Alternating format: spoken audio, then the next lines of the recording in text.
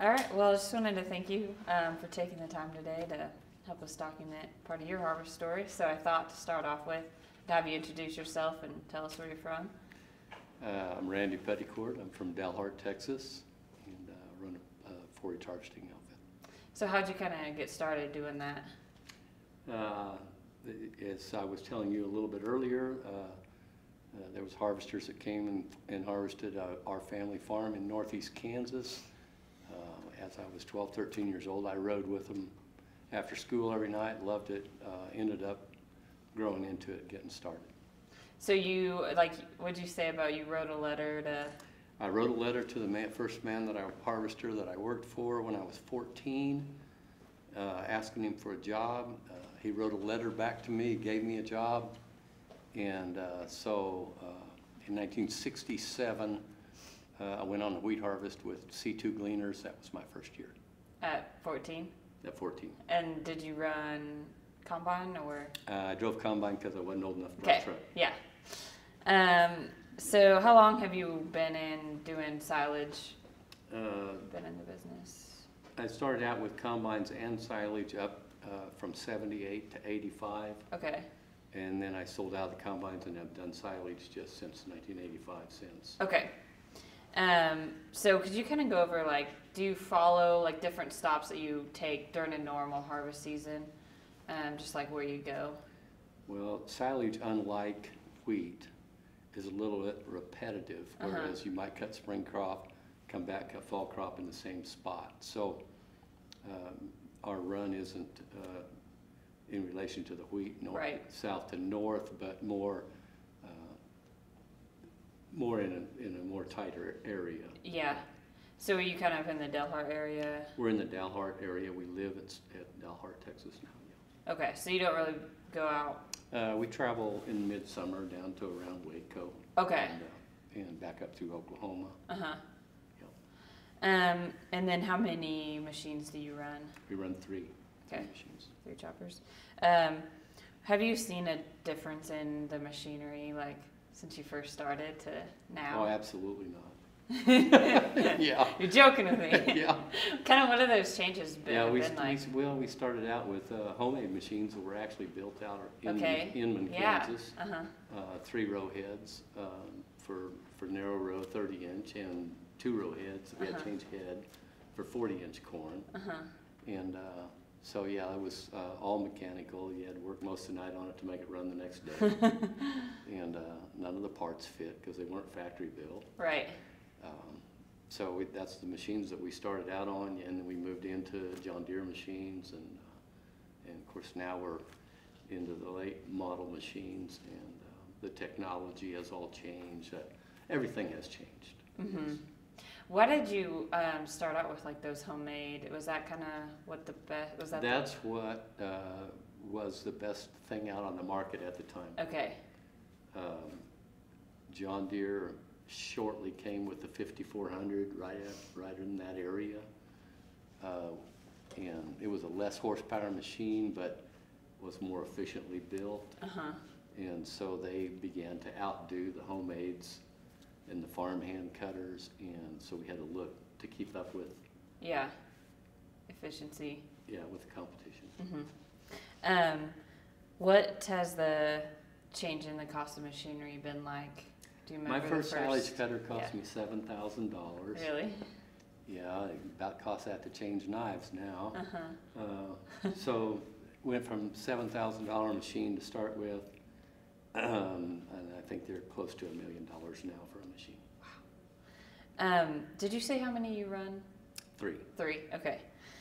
Um, how do you do? You really have much? I mean, change in like how you move the equipment from down to Waco and back, or do you? Uh, no, we have our own low boys and move, Okay. much like the combiners move. Uh huh. Has that changed at all? Has that kind of always been what you That's always, that's always been similar.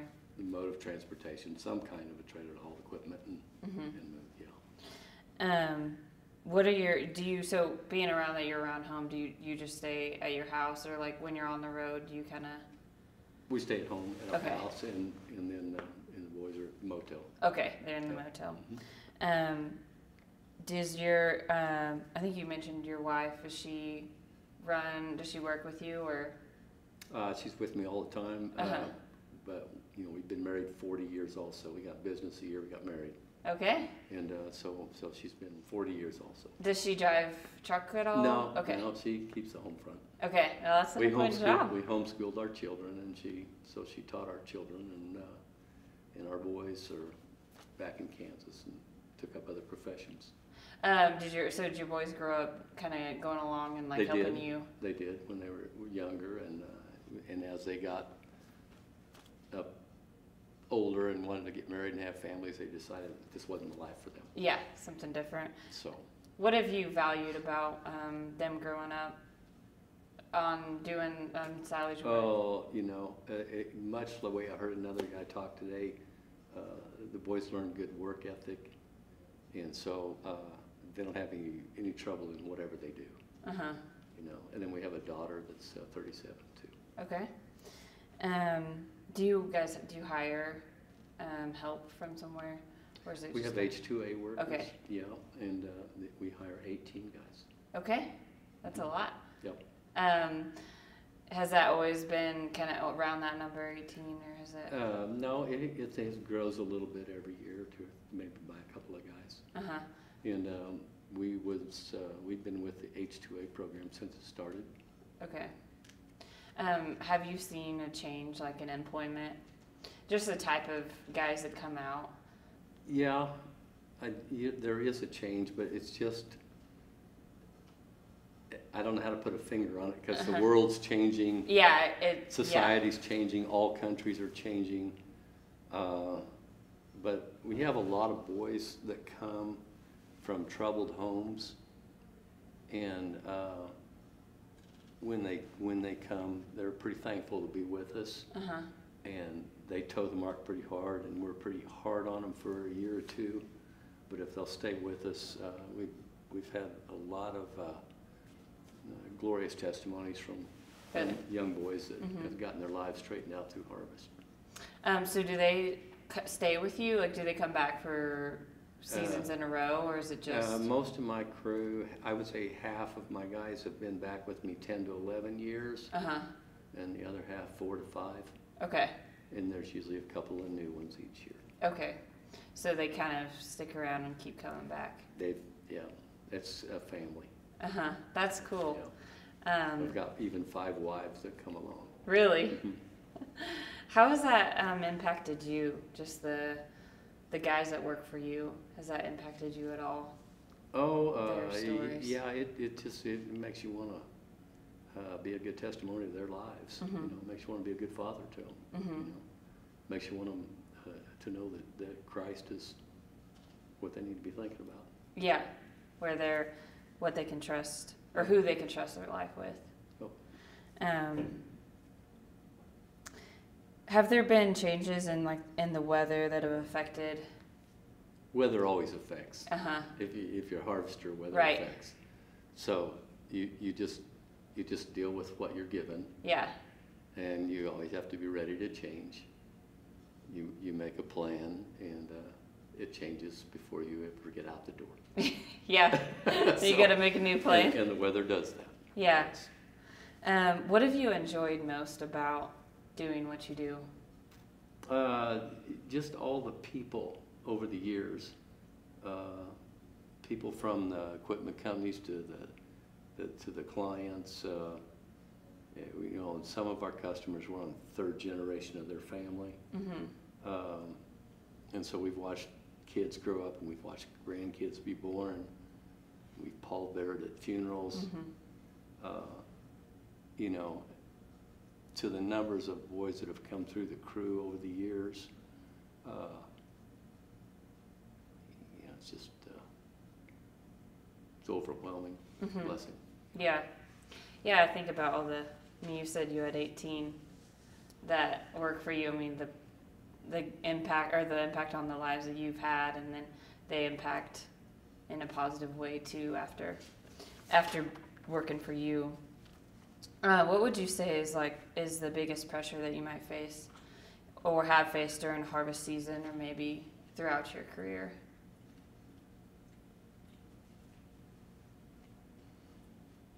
Hmm, well, that's a good thing I'm old and don't have very good memory.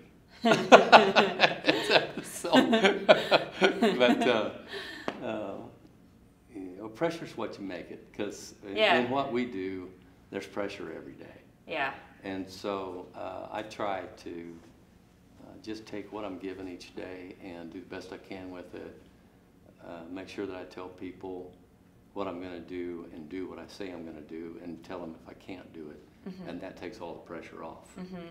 because it, it, it- it puts it out there and gets it off your back. You're not carrying it around by yourself. Mhm. So Yeah. Um, is it what you expected it would be? Like, harvesting. yeah, Uh, well, I grew up on the farm, yeah, and uh, and the equipment that we had was junk, and the people that I went with to start with had really nice equipment, uh huh, and so it made me an equipment lover. uh huh, You know. Yeah. So I've always enjoyed the latest and the greatest and good equipment, Uh-huh. and uh, so th- there are always things in life that are going to disappoint. right, You know, uh, I, I know that I gave too much of my heart to this business and not enough to my family for a number of years. And so wasn't expecting that. But, you know, when you're a young man starting out, and I've told several young guys that are harvesting that, uh, you know, your God is first and your family second, and this harvesting business is third. mhm, And if you can keep that in mind, you'll be successful. So, mhm. Yeah, I think that was another question I was going to ask you. Is just what advice you would give to that young would, guys? that would yeah. be it. hmm Starting out, and that's Don't, don't get your priorities straight. yeah, that's good All, advice. re- all the rest will fall in place. Really good advice. Um, what is something that maybe someone taught you that kind of changed the way you thought about things or did things? Um, I don't know if you had a role model in your life. Well, a role model would have been my first boss, George Becker. Um, and, and the work that he did for people was always particular. hmm Uh, there was a lot of competition, a lot of people getting in the custom business and had been in the custom business. Uh, but George was always real particular that we always did an excellent job. And so it's not rocket science. that hmm If you do a good job, you'll have a good job. Yeah. Yeah. That's very good. Um, what are you most grateful for being able to do what you do? Is there anything that, um, any rewards that maybe you've experienced because of, of your work? I guess my biggest reward is the perseverance of my wife. Because this business will test Yeah. marriages, families. And so my biggest reward is, is my marriage. hmm And, Um, and how that we've persevered through this business, because this business is not all roses. yeah. um, yeah, talk a little bit more about that. I guess like your how's that got you through maybe some hard years. Um, has she? I don't know. Well, uh, I guess, in the, you know, the simple fact that I know that she's a praying woman. Uh huh. So her prayers have brought us through. You know, when, when you do something for 40 years and you start from where we started Yeah. and started having babies, and, uh, you know, we bought a silage cutter and the, first year, one week later, the engine blew up Oh no. and we had one truck and uh, the next week the transmission went out on it, our first year. So that was just the beginning of the trials. Uh huh. So, you know, through raising the kids and me being gone a lot, uh, and her per- perseverance and prayers and going through the tough times in a marriage, Mm-hmm.